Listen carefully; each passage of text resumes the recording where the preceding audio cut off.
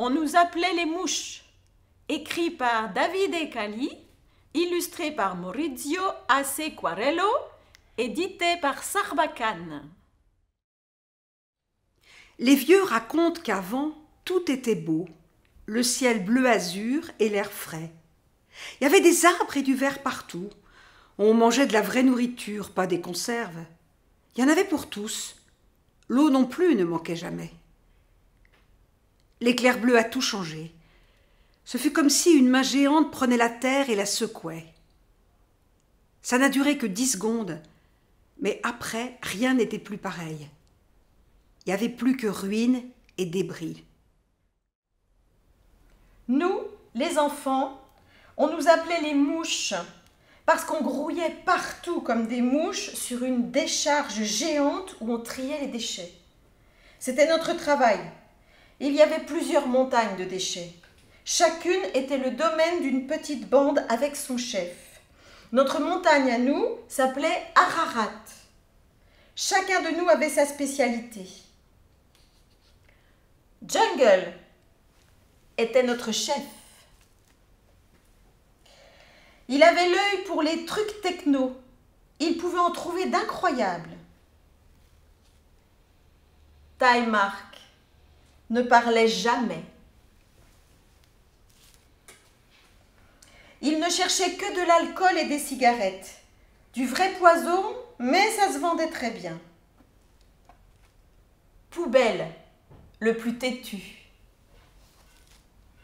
Et sa petite sœur, Penny.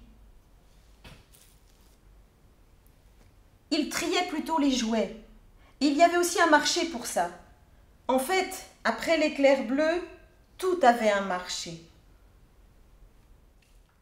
Moi, Lizzie, qui vous raconte notre histoire. Ma spécialité, c'était le métal. On travaillait dur sous le soleil toute la journée. Le soir, on défilait devant Spider pour recevoir notre dû, des rations alimentaires à moitié pourries et un peu d'eau.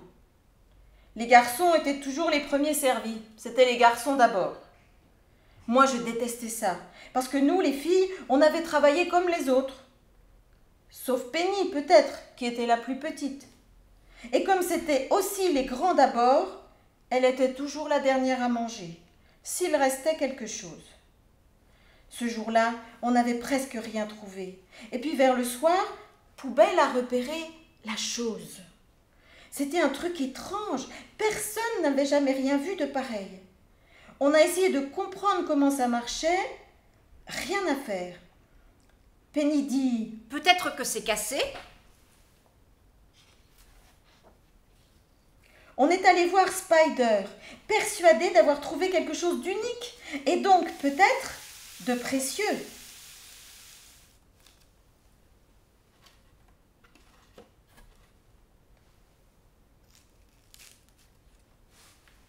Le chef se reposait dans sa tente, comme d'habitude, à l'abri de la chaleur, enfin, autant que possible. Et il n'a pas été content de nous voir. Bah, Qu'est-ce que vous fichez là? Pourquoi vous n'êtes pas à la montagne? On a trouvé ça. On a voulu te le montrer tout de suite. Pas la peine de venir tous ensemble pour ça. C'est quoi? On sait pas. Mais on pense que ça a de la valeur. Connais pas. Tu rigoles? Pas possible. À mon avis, ça vaut au moins 10 rations. Et à mon avis, moi, ton truc, il est bon à foutre au feu, si jamais ça brûle. Donne Je vais montrer à Africa. On vient avec toi. Non Qui l'a trouvé? C'est moi. Ok. Alors Poubelle peut me suivre. Les autres au boulot. Le soleil va se coucher. Profitez de la lumière pour trier quelque chose d'utile.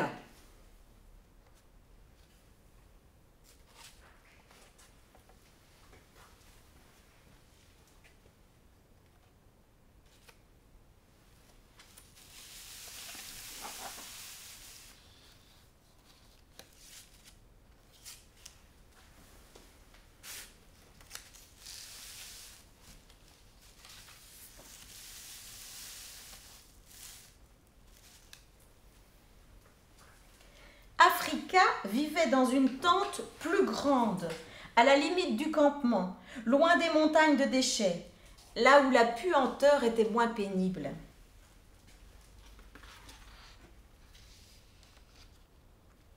Africa, on vient de trouver ça. On se demandait si on pourrait en tirer un bon prix. Qu'est-ce que t'en dis? L'homme a pris l'objet dans sa main et l'a scruté attentivement, faisant mine d'y réfléchir. La vérité, c'est que lui non plus n'avait jamais vu ça. Faudrait demander à l'obèse. Je vais m'en occuper moi-même. Je vous file trois rations et on est bon.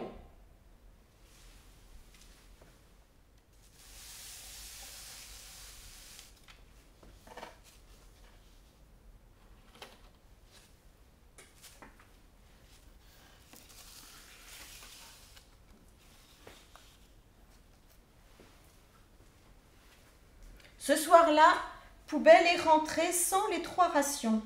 Il était persuadé que l'objet avait de la valeur. Même si personne n'avait jamais été payé trois rations d'un coup, il avait refusé l'offre. Il irait voir l'obèse avec les autres. Le lendemain,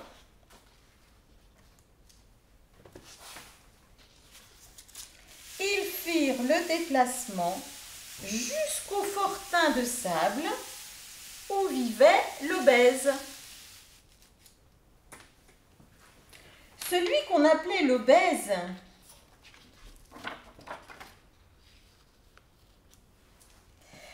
Celui qu'on appelait l'obèse était une grosse boule de lard. On n'avait jamais vu quelqu'un d'aussi gros que lui. Il devait avoir 35 ans. Alors c'était aussi la première fois qu'on rencontrait quelqu'un d'aussi vieux. L'obèse nous a accueillis en amis et nous a offert des fruits qu'il a appelés pêche. C'était sucré, incroyablement sucré même. Mais je n'ai pas trouvé ça bon. Une fois fait les honneurs de la maison, l'obèse a demandé à voir l'objet de notre visite. Pour mieux l'observer, il a allumé une lampe et pris une loupe. Il a examiné notre bien d'un air connaisseur, puis il a dit En cinq rations plus trois bidons d'eau. On en est resté bouche bée. Déjà cinq rations, c'était un prix inestimable, mais trois bidons d'eau, c'était énorme. D'un geste de la main, l'obèse a ordonné à l'un de ses lèche-pieds d'aller chercher les vivres. Mais soudain, Poubelle a dit Vous êtes sûr? Moi, je pense qu'on peut le vendre pour plus cher que ça. hein. Ah, si mon prix vous convient pas, vous êtes libre d'aller voir ailleurs, les enfants. C'était la règle chez les marchands. Chacun était le propriétaire légitime de ce qu'il trouvait, et on ne pouvait pas lui imposer de prix. C'était presque la seule règle qu'on respectait, depuis l'éclair bleu. Il y avait d'autres campements et d'autres marchands, mais ce n'était pas forcément prudent d'en faire le tour. On ne pouvait pas nous imposer un prix, mais nous tabasser ou même nous tuer, ça oui. Le mieux était d'aller directement à Grand Bazar.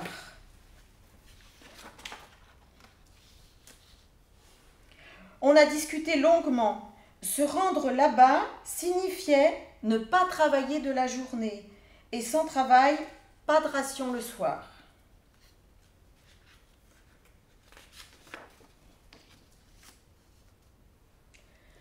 On s'est mis en route.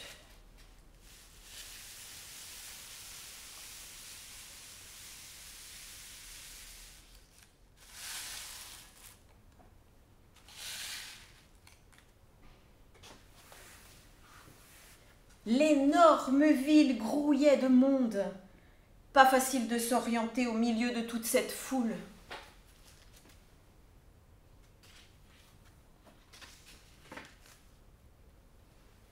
Un drôle de type s'est aussitôt approché. Il a demandé Votre anque appartient-elle déjà à quelqu'un? Quoi?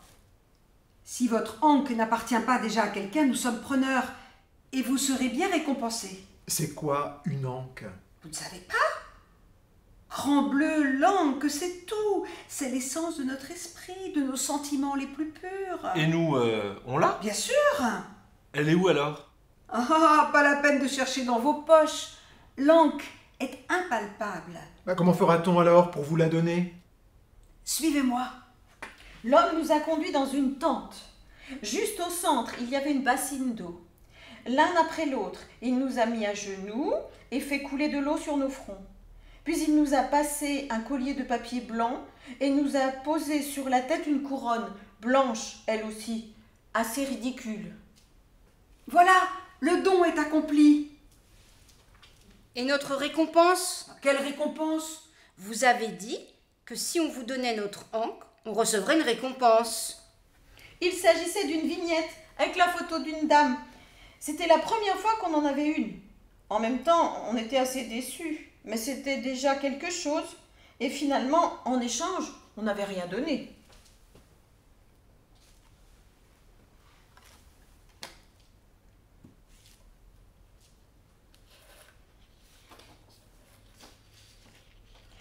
La ville pullulait de types bizarres.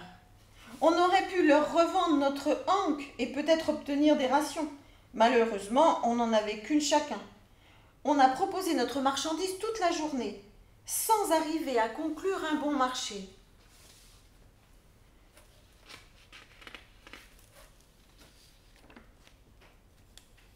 Le premier acheteur rencontré nous a offert des sortes de boules blanches. Il appelait ça des œufs. À l'entendre, c'était un repas de roi. On était tenté, mais Poubelle a refusé.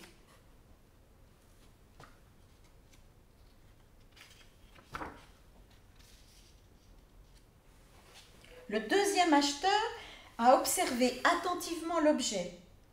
Il l'a même pesé. Le verdict est tombé sous forme de question. À quoi ça sert? Bref, il avait joué à l'expert sans même savoir de quoi il s'agissait. Tous les autres semblaient indifférents.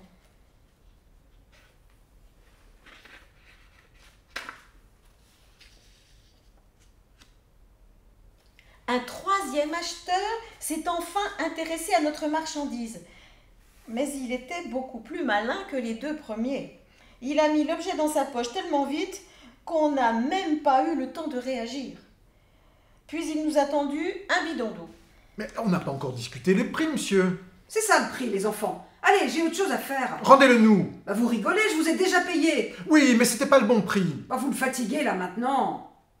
Alors, taille Marc, qui comme toujours s'était tu jusque-là, a sorti un sifflet et a soufflé dedans de toutes ses forces. Et Jungle s'est écrié Abus de marché, abus de marché. Une petite foule s'est aussitôt matérialisée autour de la tente. Le marchand savait qu'on pouvait exiger un jugement immédiat pour régler la question.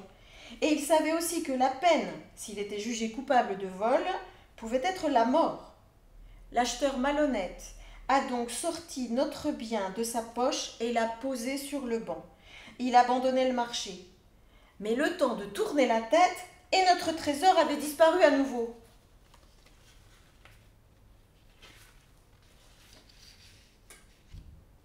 Penny a crié. La fille La fille, là Une petite fille courait dans la foule. C'est elle qui avait pris notre bien. On s'est lancé à sa poursuite entre les étals du marché. À la sortie, alors qu'on allait la rattraper, la fillette a disparu soudainement comme engloutie par le terrain. On a découvert un grand trou dans le sol, une sorte d'énorme gouffre. Mais tout autour, sur les parois, il y avait des fenêtres et des portes aussi. Et des gens, plein de gens.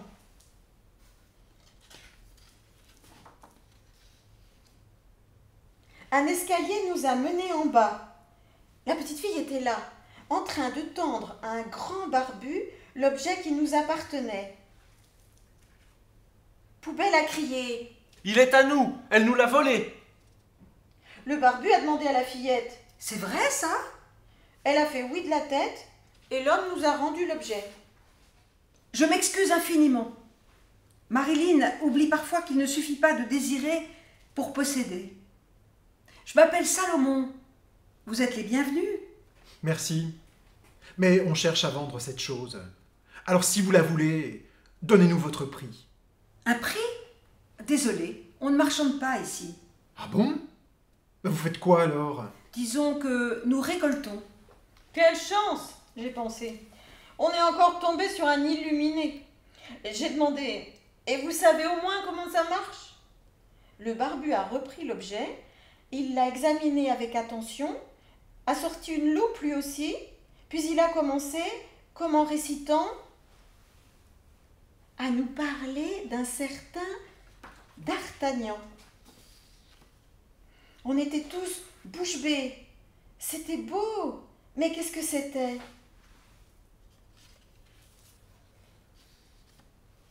Ceci s'appelle un livre.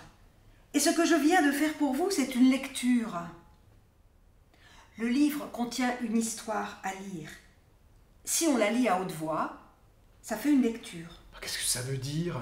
Autrefois, il existait des milliers, que dis-je, des, des millions de livres comme ça, avec des histoires incroyables dedans. Il existait même des lieux spéciaux où on ne vendait que ça et d'autres où on en prêtait. Comme ici, moi j'appelle cet endroit la bibliothèque de Grand Bazar. Du coup, c'est du précieux, ça. Bien sûr, il s'agit des trois mousquetaires de Dumas, et c'est un objet d'une inestimable valeur. Mais il n'a pas de prix. Comme je vous l'ai dit, je ne suis pas un marchand. Vous êtes quoi alors? Un rêveur. Un homme qui rêve de reprendre le cours de la vie là où il s'est arrêté. Pour l'instant, je récolte le plus de livres possible. Et j'apprends à lire à tous ceux qui me le demandent. Ah bon? Et ça coûte combien d'apprendre à lire? Rien, c'est gratuit. On était déçus. En même temps, on venait de faire une sacrée découverte. L'homme nous a fait visiter sa collection de livres, sa bibliothèque, comme il l'appelait. C'était dans une cave qui contenait, comme il l'avait dit, plein de livres. Il y en avait des gros et de très petits, des grands et de très épais, et pour certains, il y avait même des dessins dedans. L'homme vivait des offrandes que lui faisaient parfois les gens pour apprendre à lire. Cela paraît fou, mais certains étaient capables de renoncer à leur ration pour pouvoir apprendre ça. Sa bibliothèque était comme une oasis en miniature.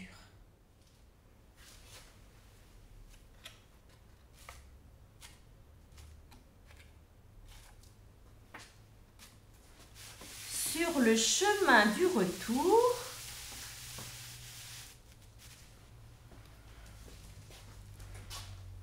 Avec Mark, on avait vendu de quoi nous acheter des rations. On a partagé avec les autres et comme d'habitude, ça a été les garçons d'abord. Poubelle avait laissé le livre à la bibliothèque. On pourrait y aller quand on voudrait pour apprendre à lire. Ce livre-là et beaucoup d'autres. Mais d'abord, il fallait trouver une nouvelle montagne de déchets à trier, plus près de la bibliothèque de Salomon.